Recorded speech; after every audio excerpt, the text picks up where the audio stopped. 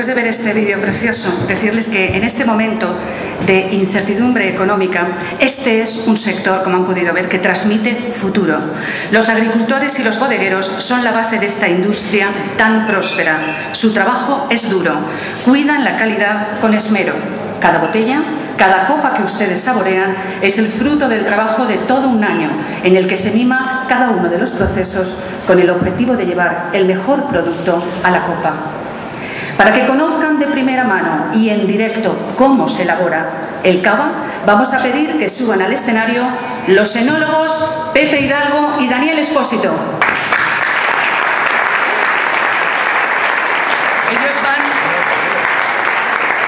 Ellos van a elaborar cava en directo y nos van a explicar cómo, cómo, lo hacen, pero también vamos a requerir la presencia en el escenario de expertos en la cata del cava. Recibamos Maximiliano Bao, galardonado como Nariz de Oro 2005, y Bruno Murciano, mejor sommelier de España 2008 y su campeón de Europa en 2009.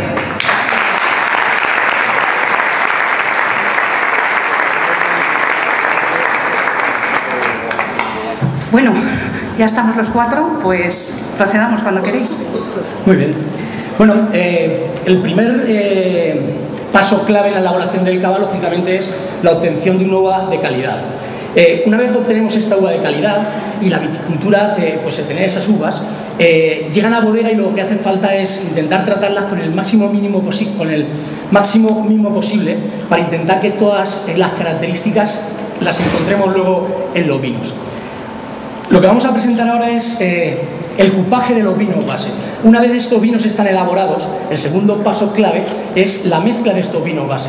En esa elaboración habremos cuidado, pues con cuidado la oxidación del vino, habremos cuidado el extraer la máxima potencia y una vez que tenemos estos vinos, lo que vamos a hacer es catarlos, ver sus características e intentar formar el cupaje de cara a que este cupaje sea el que, o prever que vaya a ser el que vaya a evolucionar con el tiempo.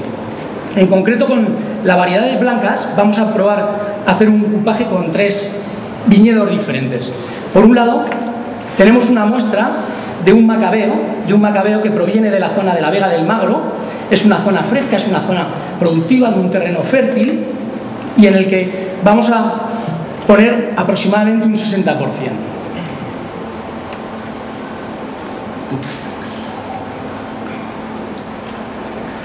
El segundo vino es un chardonnay.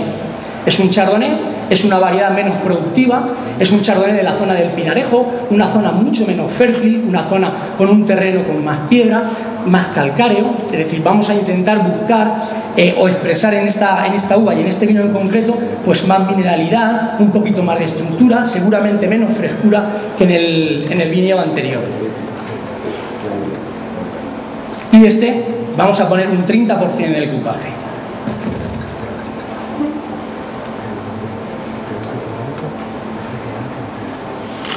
Bueno, y por último, vamos a utilizar la misma variedad que en el primero, una variedad macabeo, pero de una zona diferente. Una zona que es la zona de, Campo Arcis, es una zona más cálida que la Vega, con lo cual bueno, la maduración nos va a dar un aroma frutado, pero una fruta más madura, menos acidez en boca, y vamos a utilizarlo en un 10% en el equipaje.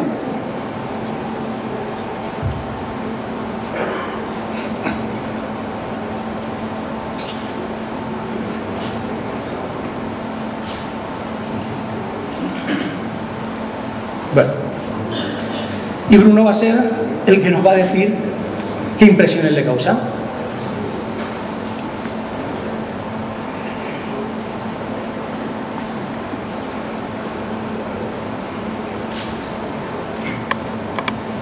Hola, buenos días.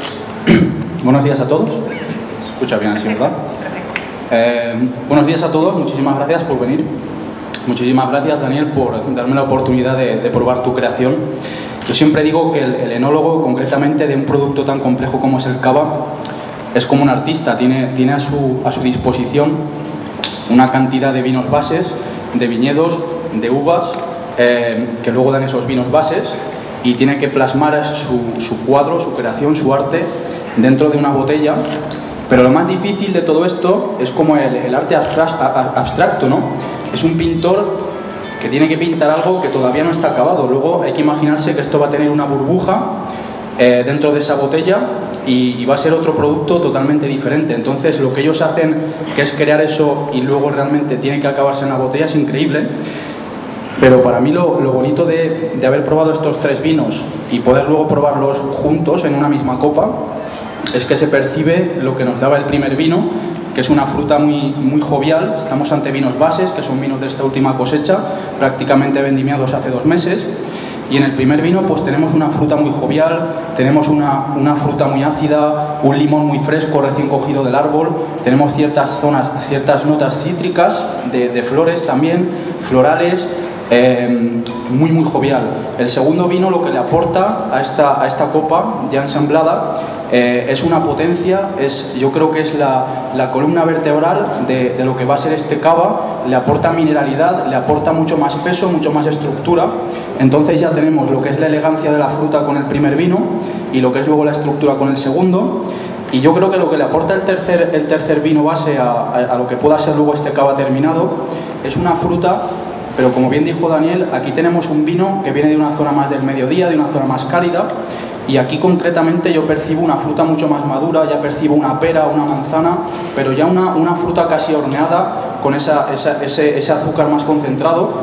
Eh, y realmente yo creo que, que, de aquí saldrá un cava estupendo porque va a tener esa fruta jovial, eh, esa acidez, luego va a tener esa columna vertebral, esa estructura, esa mineralidad que muchas veces buscamos en estos vinos que, como sabéis, van a salir mínimo al mercado casi un año y medio, dos años después de haberlos hecho y con esa autólisis de la levadura van a conseguir mucha más complejidad y esa burbuja nos, dará una sensación de frescor y, de querer beber mucho cava y bueno, yo felicitar a Daniel porque creo que puede ser una, gran creación. Bueno, pues muchísimas gracias a Daniel y a Bruno. ¿Les podéis aplaudir? ¿sí? Si os parece, ser ahora Pepe Hidalgo y Maximiliano los que hagamos el mismo proceso con el rosado. Muy bien, eh, mientras que es el Macabeo y el Chardonnay, las variedades fundamentales que usamos en, en, la comarca de Requena para elaborar nuestros cavas, es la garnacha y el pinot noir las que utilizamos para elaborar estos cavas rosados. Hoy vamos a hacer un cupaje con dos garnachas de dos sitios muy diferentes. En el primer caso es de la zona de, de la Portera y los Pedrones, zona donde mayoritariamente se cultiva esta variedad, que es una zona más alta, donde buscamos fundamentalmente eh, transmitir eh, frescura y, frutas eh, de carácter más bien, más bien ácido. ¿no? En este caso usaremos un 60%. Eh, el segundo componente de nuestro ocupaje es otra vez otra garnacha, ya de la, de la zona de, de, alrededor de Requena, en el corazón del altiplano valenciano, donde buscamos una fruta más madura, que lo podremos ver aquí.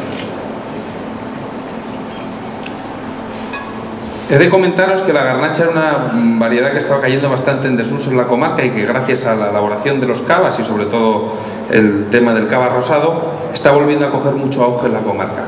Estaba siendo la gran olvidada.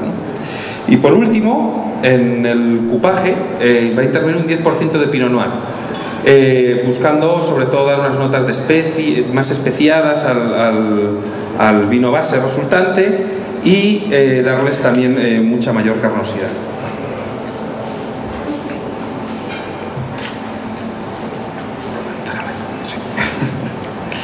Eh, la unión de esta garnacha, este Pinot Noir, de estas eh, zonas tan diversas y la riqueza de Requena hace al final un producto muy complejo, muy fresco y, y la verdad de, de, de, gran aceptación en el mercado actualmente. Ahora Maxi os va a contar qué opina de lo que es. Ahora cuando lo disfrute un poquito. Cuando tú quieras, Maximiliano. bueno, pues buenos días, muchas gracias a todos de nuevo.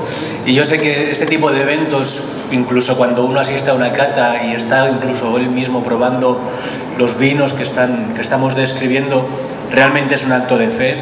Así que más todavía, incluso que ahora ni siquiera ustedes están aquí delante, pueden, pueden estar disfrutando los vinos, les voy a pedir que confíen, que crean en que lo que les estamos diciendo es, es cierto. A veces cuesta un poquito más de entender cuando uno dice, no, pues le notamos pues flores blancas y frutas maduras, esto huele a vino. Es cierto, esto huele a vino, esto huele a cava y realmente lo estamos luchando pues por hacer un nuevo registro, por tener nuestra seña de identidad Y al igual que nos llevamos un vino a la nariz y decimos es un vino, pues que podamos llevarnos una copa de cava a la nariz y decir, oye, esto es un cava valenciano. Y poder decirlo de forma orgullosa y poder decirlo de forma tranquila. En este caso, con el cupás que hemos conseguido, con, con estas garnachas tan frescas, por un lado y las otras maduras, la fresca le estaba aportando una intensidad de, de, flor blanca muy grande y lo que hemos conseguido con la Pinot Noir es darle un toquecito más de estructura.